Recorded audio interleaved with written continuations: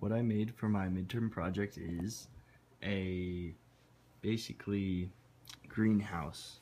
Now, what I did is uh, I have my LCD here displaying the moisture sensor readings which are going on inside of this miniature greenhouse. Now, as well I have the keypad which was to be used to turn the fan on and off uh, without using the moisture reading but so I have these two nails on the inside of um, of the greenhouse.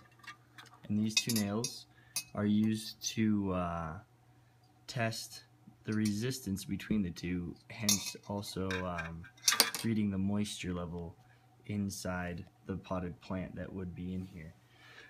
Now what you can see is when those nails are in the water, the resistance is very low. So when the resistance is very low, um, and it shows it here, uh, when it's below a certain uh, level, I have a relay that will turn on um, my fan. Now my connection is kind of bad, but you can see the fan turns on when it's at a certain uh, resistance. Now, when I take the nails out or like separate them, you can see that the fan turns off. You can even hear the clicking of the relay. Now uh, I have a battery pack hooked up here as a, as a other power source to power the fan and then I also have on the inside here of my box um, my LED display wired up, my Arduino um, on the inside, and uh, I have my nails hooked up here, and that gives a reading through this uh, through this setup um, to the Arduino that reads it, and then that will then send the signal to my relay and my relay then continues and will switch over and turn on the fan according to the reading. So I wanted to demonstrate how this relay uh, works a little bit better with these two nails.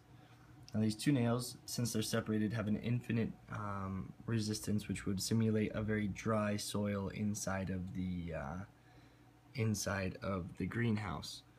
Um, and when they would touch, it would simulate a very wet um, environment, which uh, I would want to power the fan on so that it would dry out the greenhouse, you know, kind of regulate that moisture in there if there were to be too much.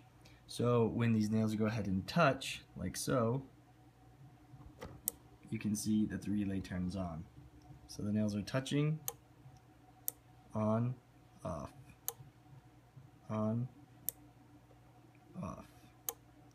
So that's how um, the fan is powered and uh, controlled in my greenhouse. Um, yeah, that's my project. I'm super excited about it because I can take this application and uh, you know kind of beef it up a little bit more and make a even more efficient and effective um, greenhouse. And I can make it as large or as small as I wanted. I went with a smaller one just for the use of this video right now.